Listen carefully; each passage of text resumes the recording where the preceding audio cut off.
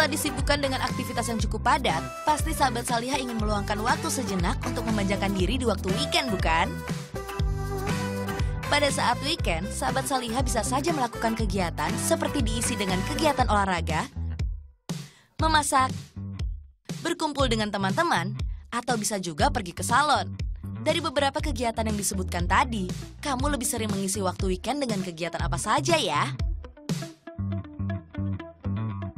Uh, biasanya sih kalau weekend uh, aku suka spa gitu atau enggak biasanya uh, masker rambut kuliner, uliner dan sebagainya dan kadang-kadang juga suka memanjakan diri ke salon gitu.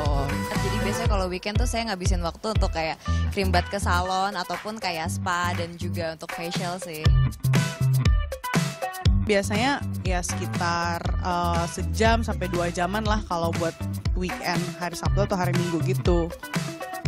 Jadi tergantung kebutuhannya gitu. Jadi kadang-kadang dua dua kali bisa dua kali sebulan atau bisa juga dua bulan sekali. Jadi tergantung sikon. Untuk sebulan biasanya hmm, sebulan dua kali lah. Ternyata banyak di antara sahabat Salihah tadi menghabiskan waktu rehat mereka dengan cara pergi ke salon. Kurun waktu yang mereka lakukan juga bermacam. Ada yang sebulan sekali, dua minggu sekali, bahkan seminggu sekali. Melihat minat masyarakat terhadap penggunaan salon cukup tinggi, banyak di antara pebisnis yang mencoba peruntungan untuk membuka usaha salon dengan beragam perawatan agar menarik pengunjungnya. Dari mulai hair spa, body treatment, potong rambut, mani pedi, dan masih banyak lagi. Dan hampir kebanyakan salon yang ada adalah salon yang bisa dinikmati baik perempuan atau juga laki-laki. Tetapi sayangnya, belum banyak salon yang bisa memfasilitasi privasi bagi wanita muslimah berhijab. Sehingga membuat mereka tidak nyaman ketika membuka aurat saat melakukan perawatan. Karena banyaknya kaum adam yang lalu lalang di salon, baik mereka mengantar pasangannya atau ikut serta melakukan treatment. Melihat hal ini, ada salah satu pebisnis salon bernama Yulia mencoba untuk membuka salon yang dikhususkan untuk wanita, terutama wanita berhijab agar mereka merasa nyaman saat melakukan treatment. Salon ini bernama Moslima. Salon yang sudah berdiri tahun 2002 ini merupakan salon khusus muslimah dengan pelayanan yang terbilang lengkap. Sehingga para muslimah bisa melakukan perawatan baik dari luar maupun dalam. Sobat Saliha bisa menikmati perawatan tanpa harus takut kelihatan aurat oleh kaum Adam loh. Karena para stylist dan terapisnya pun wanita. Semua perawatan yang ada di sini, dari mulai refleksi, perawatan kuku, sampai styling hijab juga bisa dilakukan di sini. Seperti sahabat Saliha berikut yang jadikan salon ini sebagai tempat untuk memanjakan dirinya di kala senggang. Oh, biasanya sih dua minggu sekali itu pun di hari weekend ya. Soalnya kan saya e, kerja jadi biasanya di hari weekend biasanya dua minggu sekali. Salah satu perawatan yang sering dipilih di sini adalah perawatan kuku. Seperti apa sih perawatan kuku di sini? Biasanya sih mani pedi, refleksi gitu, jadi biar lebih refreshing aja. Soalnya kan seharian kerja. Selain mani pedi, biasanya sih body spa,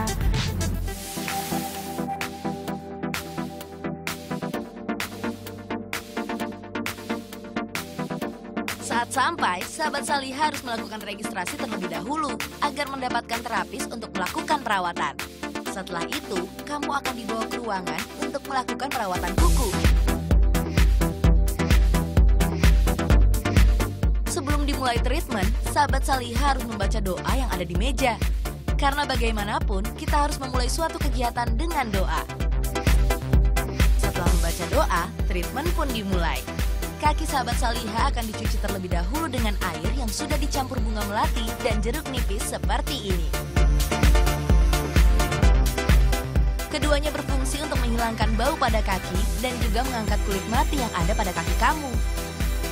Setelah kaki sahabat Saliha dibersihkan, selanjutnya terapis akan memberikan pijatan lembut dengan menggunakan hot stone. Hot stone ini berfungsi untuk merelaksasikan kaki dari otot-otot yang kaku.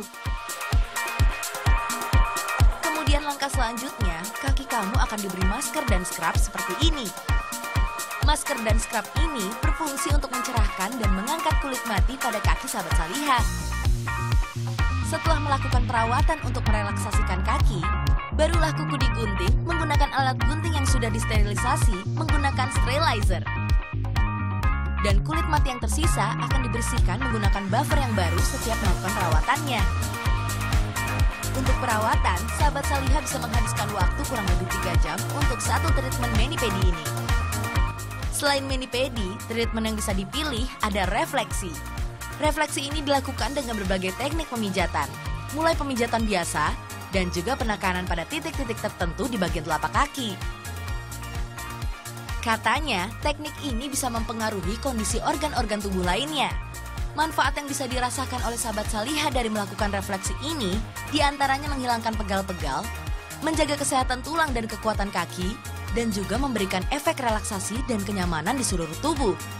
Masya Allah, benar-benar bermanfaat sekali treatment ini.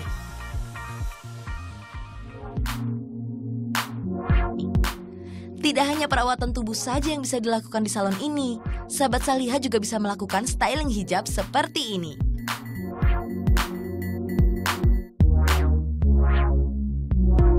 Bagaimana sahabat Saliha? Weekend ini kamu sudah punya rencana untuk pergi ke salon?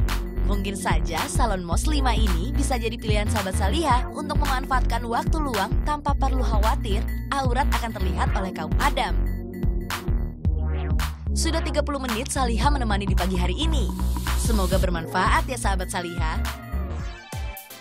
Jangan lupa untuk saksikan Saliha besok jam 5.30 dengan beragam rubrik menarik lainnya.